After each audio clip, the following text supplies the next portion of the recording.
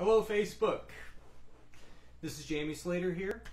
Uh, I'm going to play you some jazz guitar, and then I'm going to give you a little bit of a lesson uh, about jazz guitar. Just, I don't know, maybe you can, if you're looking for guitar lessons and perhaps uh, you feel like what I'm teaching may be able to help you, then, you know, we can, uh, please get in touch. We can talk about it. Um, if you notice, I'm wearing black for the first time. I'm wearing black. Um, uh, we've got a lot to kind of be thoughtful about. Um, aside from uh, George Floyd, uh, which way back when when all that first kind of went down uh, during the blackout day, I was going to make a lesson, and for some reason in my black shirt, I just got sidetracked every possible which way. Uh, had problems with sound. You know, I did like a 20 minute video or something, and the sound was screwed up. And since then, I fixed my sound situation. And um, then I got I started again, and I got a phone call right in the middle of it. That screwed it up.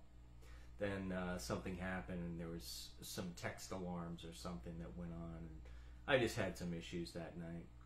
But uh, tonight I'm wearing black for a, a more personal reason. Uh, a friend of mine from high school has passed away, and she was 49 years old, and um, she had been battling cancer for the past few years.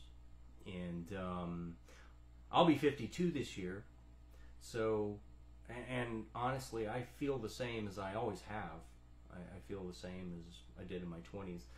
Um, and uh, every time I look in the mirror, I'm like, oh, it's my dad, you know.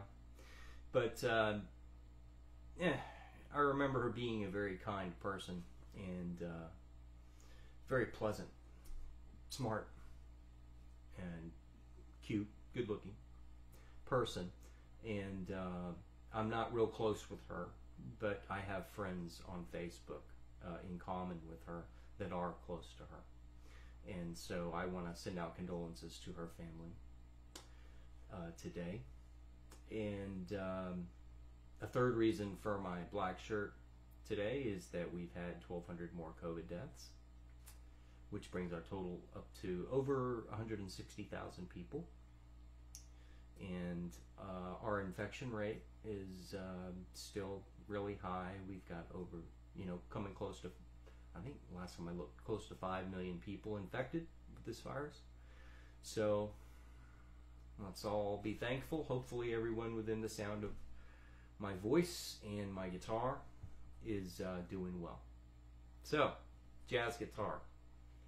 So, how you lay out the neck as a jazz guitar player is kind of important.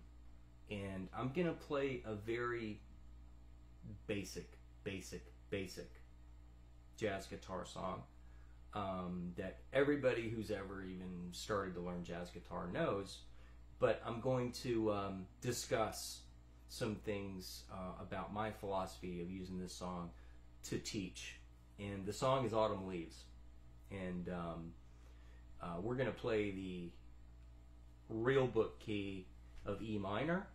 Uh, the relative major would be G major rather than the G minor version, which is commonly heard.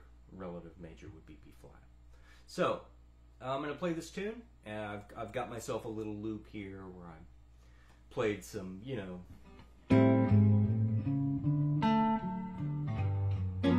walking bass lines and some chords to accompany myself with. Uh, so I'm just gonna gonna start the tune up.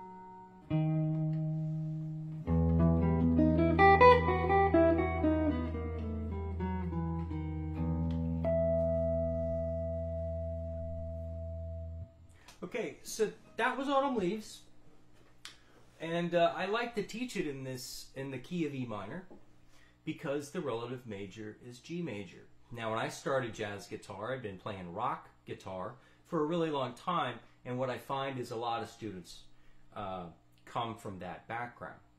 So, uh, in rock, we play a lot of minor and a lot of pentatonic minor and a lot of pentatonic scales.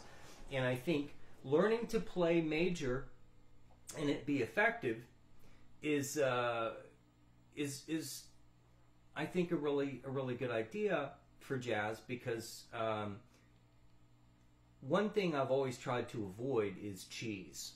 You know, I don't want it to sound cheesy. You know, I think that there's a there's in playing, which is playing the the the notes without taking too many chances there, and then there's out playing you get to do some things that maybe sound a little more controversial.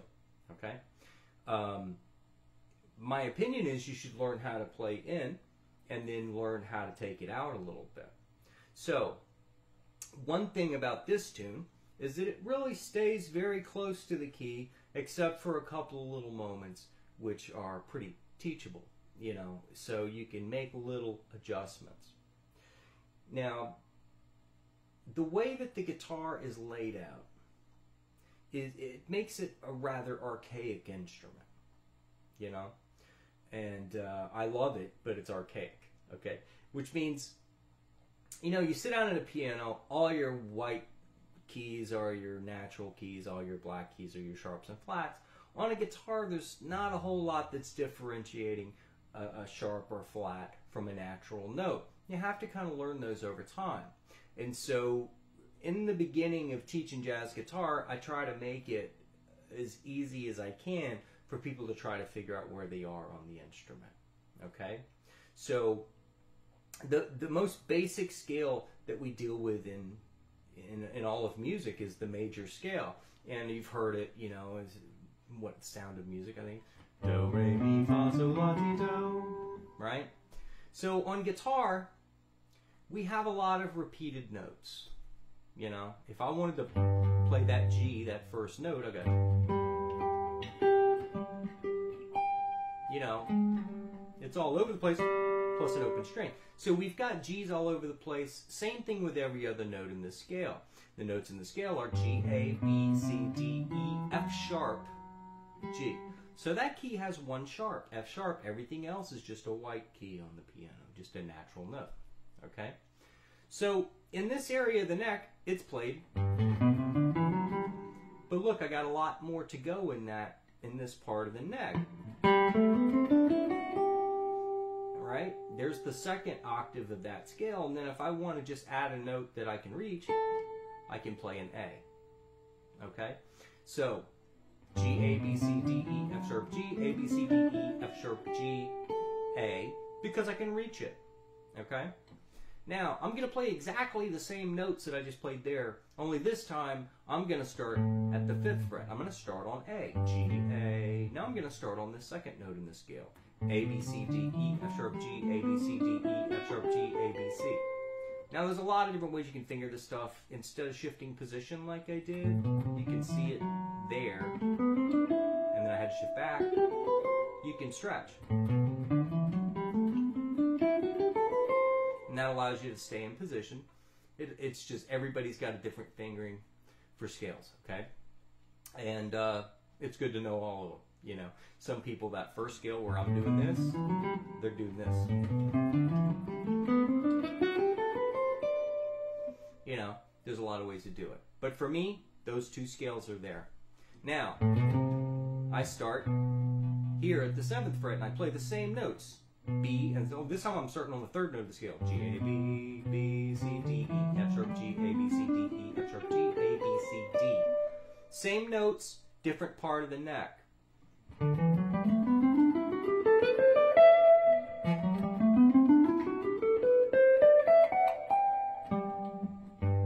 Back where I started, just an octave higher. So what you end up with is, is kind of, uh, you know, five positions, but they start to meld together after a while. Now, in those five positions, if we just take the first note or should I say, the first octave of every scale to G, A, B, C, D, E, F sharp, G, and use them all for a chord. Whoops. We get this.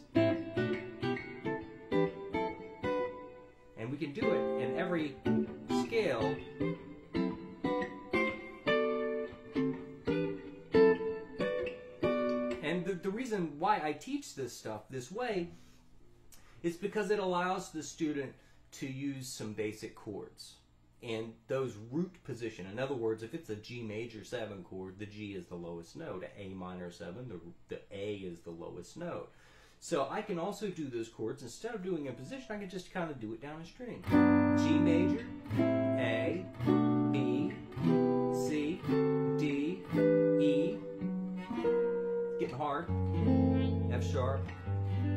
Now if I take that first scale again, go to the first note that I find on the B string, I get a, I'm sorry, the A string, I get a B note. B minor 7, C major 7, D7,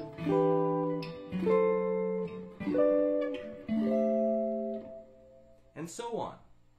So what that means is uh, for that chord progression that we did, the autumn leaves, it goes A minor 7, D7, G major 7, C major 7, F sharp minor 7 flat 5 or half diminished, B7, E minor 7, okay, or E minor.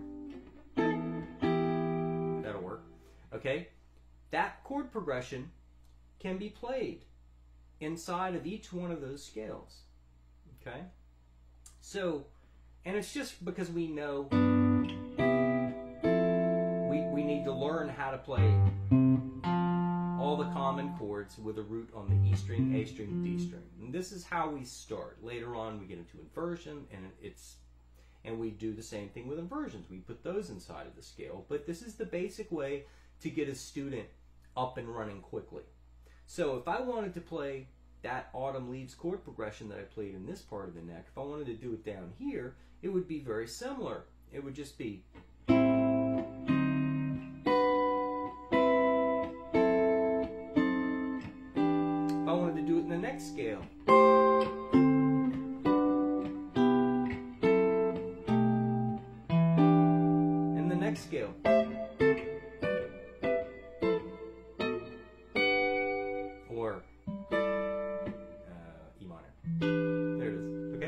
So we can do it.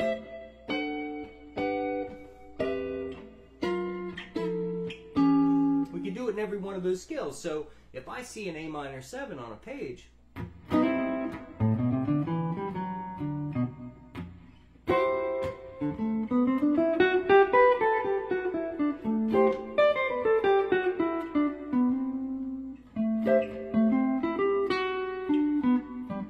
I've always got a scale I can play over it.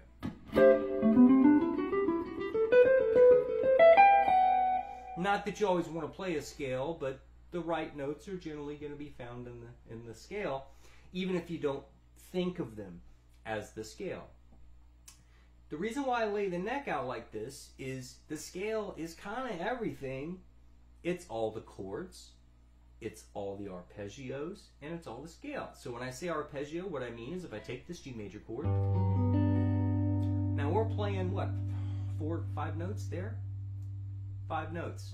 But there's some repeats. The G is repeated twice in that particular form, but it's really only a four note chord. Now that arpeggio is straight from the scale.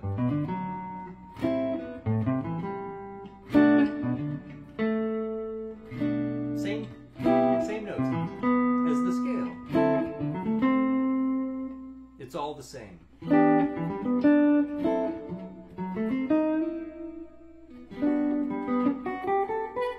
And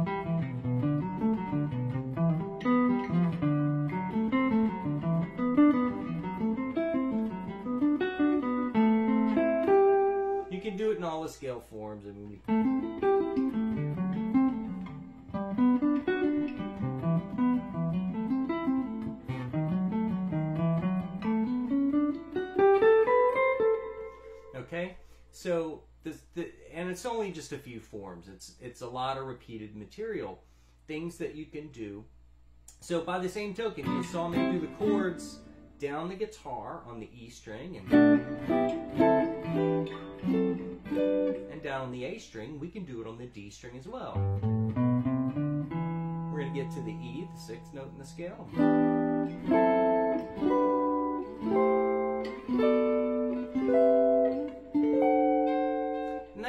Helps you to pull your scale together in a way that's going to be very useful um, chordally with the arpeggios and with the scale forms themselves.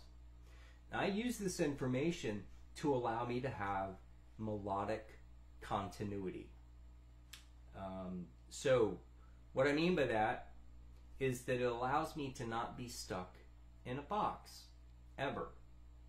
Uh, so I can start anywhere over this tune and end anywhere. And what I generally try to do is try to practice from one end to the guitar to the other. And try to make the melodic ideas make sense. I had a student write me about my video I did yesterday asking me if I sing the lines. And yes, I do uh, sing my lines um, in my head because I don't really think you want to hear me sing them. But all of this stuff that you translate to the fingerboard allows you to use the force. and the force is just, it allows you to quit thinking about technical things and it allows you to start playing the guitar as if you're listening to someone else play the guitar. And whatever you want to hear come out. You know?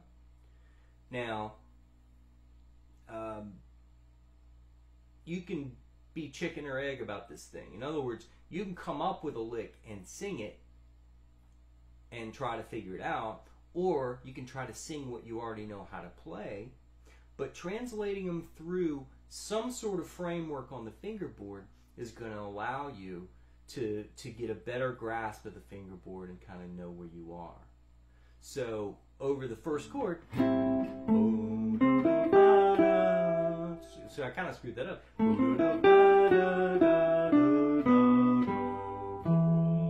You start to know what's going to happen, kind of no matter how you move your fingers.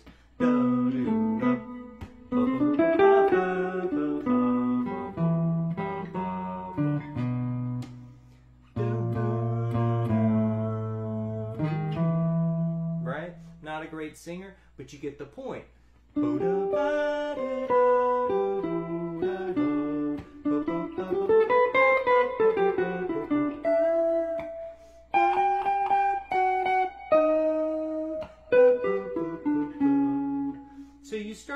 To sing whatever you want are playing or or maybe even come up with a line that's that's you know you've never done before. And it's just a matter of kind of hearing tensions and being able to release that tension. But i always go from i try to practice continuity. So i'm going to play that loop of the chord progression and i'm just going to kind of start high in that fifth scale form and then i'm going to work my way uh, backward towards the headstock and you can you can kind of see what i'm trying to do and i'm trying to make my lines make sense together. You don't want to just have a you know just a bunch of notes. You want to have some sort of singable quality, and you want it to swing time wise. And that's another lesson. But but here we go.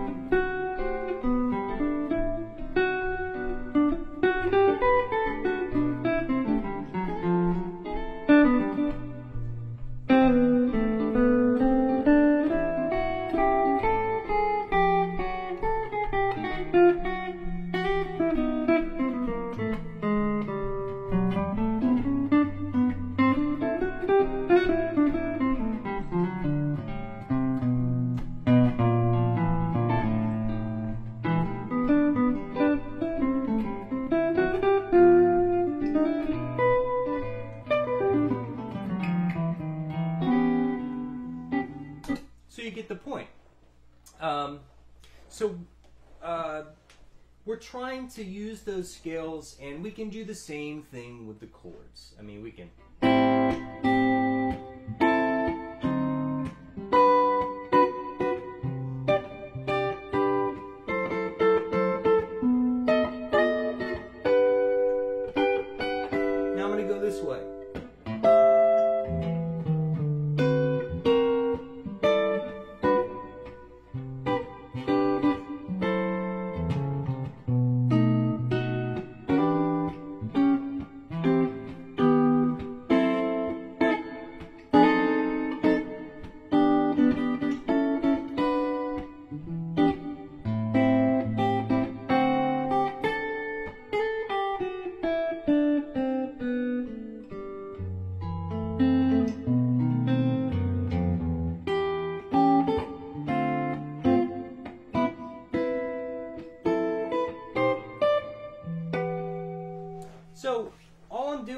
I'm using the chords and the scales and the arpeggios all at once to be able to go from one end of the neck to the other.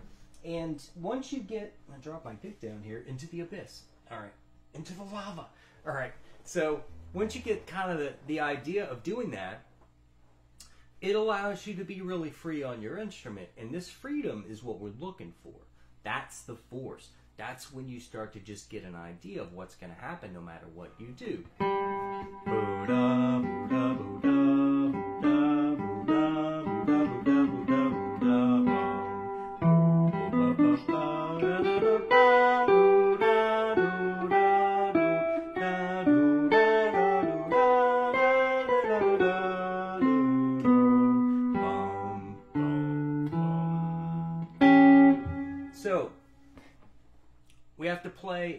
play the right stuff.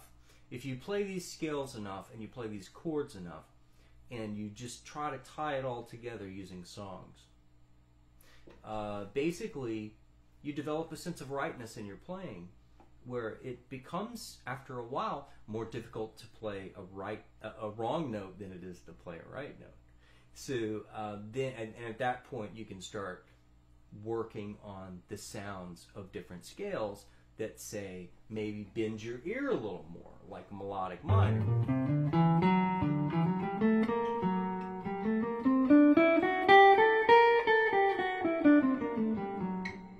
A little different, right? And then you know the fir- the first chord in that, and it's got a sound to it, kind of dark, you know. Um, but uh, really interesting. Uh, one song that used this was uh, uh, "What It's Probably Me" by Sting. It was on the soundtrack of a movie back in the '90s where you heard this. Uh, here it is.